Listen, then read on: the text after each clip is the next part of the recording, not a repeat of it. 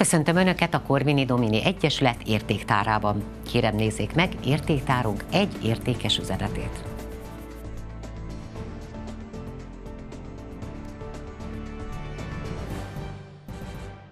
A bátyásföldi őslakok már régebben is tervezték, csak hát akkor még a politikai körülmények között nem igen lehetett ilyen egyesületeket létrehozni, de régebben is terveztük, hogy ősmátyásföldiek létrehozunk egy, egy egyesületet, hogy a környezetünket szépítsük, meg hát csináljunk kulturális eseményeket, gyermekeknek szervezzünk különböző műsorokat, az értékeinket őrizzük meg, becsüljük meg, akik itt laknak régen.